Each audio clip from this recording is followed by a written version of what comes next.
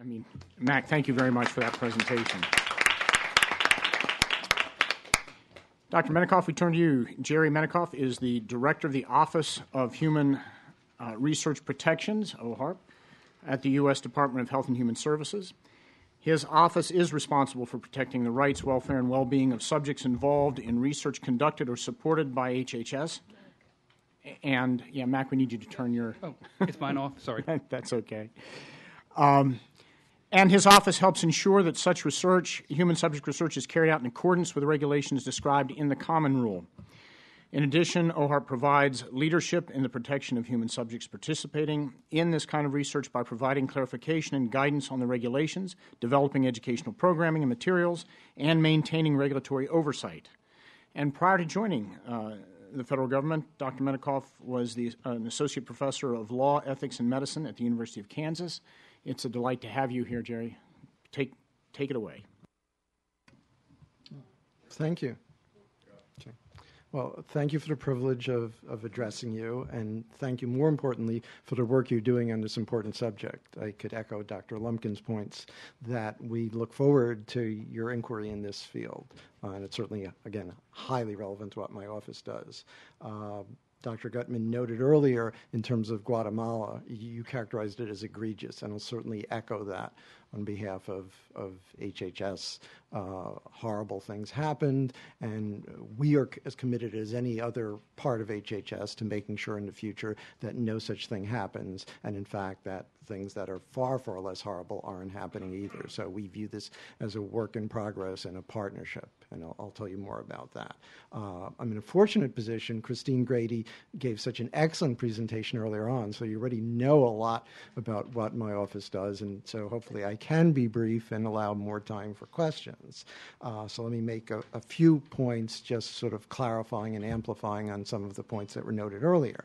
Um, what is within OHRP's jurisdiction? Because in fact, it's very different, in fact, than, than FDA's jurisdiction. I think that's relevant to the questions you're addressing.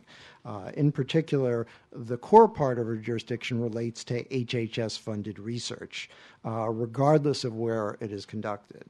Um, on the other hand, the biggest part of that generally is NIH, and by and large, NIH, at least on the extramural side, is not doing a mind boggling amount, percentage wise, of, of research outside of the US. My understanding is it's within a, a couple of a percent, so it, it is not huge. Fortunately, you are collecting information about this, and you will have a lot more information put together in one place than has existed up to now.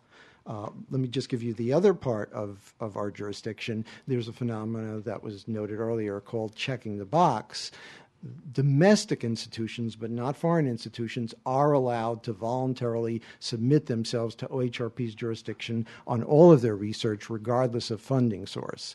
And two thirds of the institutions out there, again, just domestic institutions, do voluntarily do that. That gives us a huge amount of authority over a great deal of research that is not HHS funded. Again, almost all of that is not international, it's largely domestic.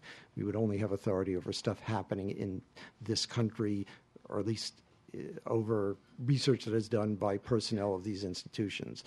And most of that is within the US. Let me say a little bit about the rules that are enforced by OHRP. Again, you've heard a lot about this. Uh, OHRP enforces the HHS version of the Common Rule. Uh, this is a rule that has been adopted by, sort of in a cookie cutter fashion, by 17 different uh, divisions of the federal government. They each have their own authority to enforce it. So, again, our authority is limited to the HHS funded aspects of that. Um, the Common Rule does not in any way at least in terms of its core provisions, distinguish between studies that take place within the U.S. and studies that take place outside of the U.S. Again, the core issue is is it HHS funded? Um, that said, uh, the rules do have provisions that again have been noted already relating to what is commonly called equivalent protections. And uh, this is a very important and common sense concept that basically um, HHS, similar to any other branch of the federal government, doesn't have the absolute best answer to what protections are adequate in terms of protecting participants in research studies. And so the regulations contemplated that there can be circumstances in which it would be determined that the procedures or rules of some other uh, organization or, or laws uh, are adequate. Um, now, up to now, OHRP, or more broadly HHS, since its secretary makes these determinations, has not made any determinations that a particular set of protections are equivalent. But we are well aware that research, uh, as Dr. Lumpkin has noted, is becoming more and more international. And we certainly, again, acknowledge that there aren't just one set of protections that are adequate. And we have actually been actively working for quite some time to develop criteria for determining equivalent protections. Um, by doing this, we don't want to actually exacerbate problems. And so, to pick on a pick up on a theme that was noted earlier, uh, we're very engaged in being harmonious these days. We could envision OHRP or the secretary setting up some standards for OHRP regulated studies that are somehow different than FDA standards because FDA has already been engaged in something essentially similar. And therefore, we are working very closely with FDA to hopefully come up with rules that are highly harmonious. So you do not end up having two sets of standards to apply here. And I think this gets back to another theme that was echoed earlier. Um, that the rules, it, it isn't just about compliance. The heart of this is about ethics. And I think, from the viewpoint of somebody in another country, whether or not you're exploiting them or not, it doesn't matter necessarily whether or not it's an issue that it was a federal government funded study or the flip side of that, that it happens to be a product that the only reason the product is being studied uh, according to a certain protocol is because the U.S. is the gorilla in terms of being the biggest market out there. And we know these companies are not about to engage in a study unless the rules will comply with, with FDA. So the bottom line, we think there are basically similar ethical rules there, and, and we're very eager to come up with similar standards uh, in terms of FDA's and recognize again that the U.S. doesn't have the clear answers to this, and we certainly welcome your input in terms of this. So it's wonderful that, that you're discussing all of this. Um, let me say a bit, since you were interested in, in OHRP's involvement with international research, in spite of the fact that it's a small part, percentage wise, of, of our regulatory scope, we actually are very active in that field. Uh, the division of, we have uh, Uh, four divisions. The division of director has a subunit uh, that is specifically dedicated to international activities.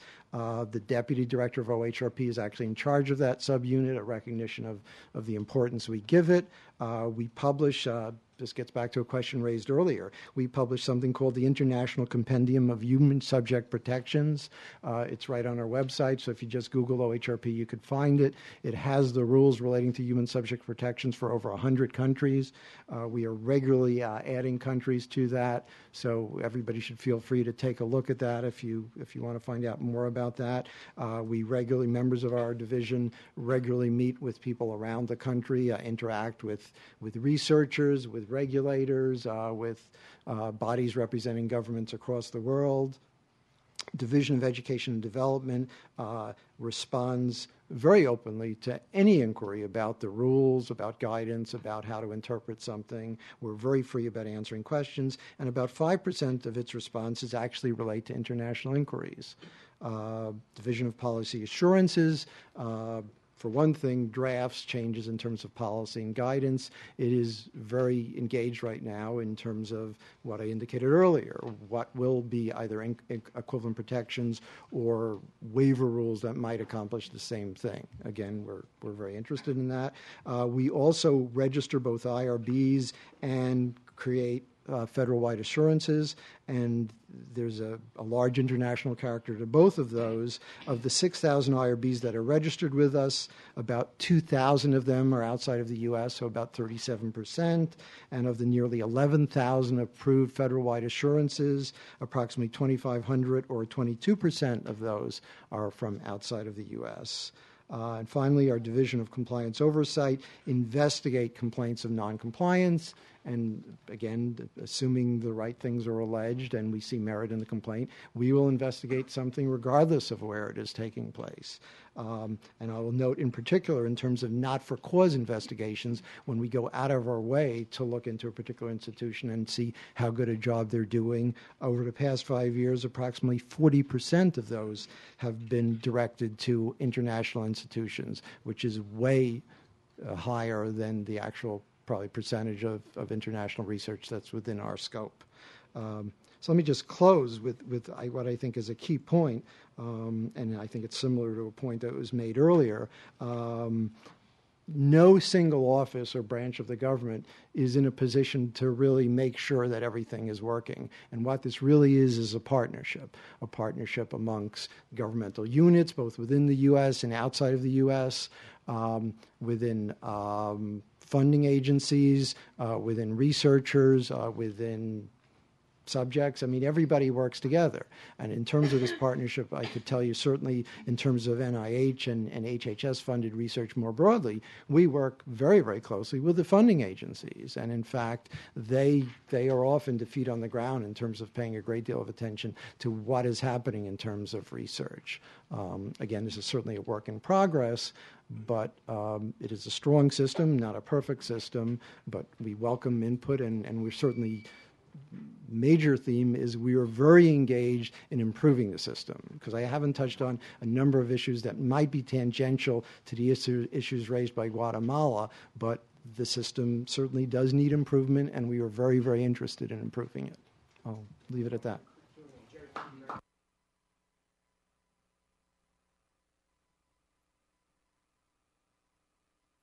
First and then.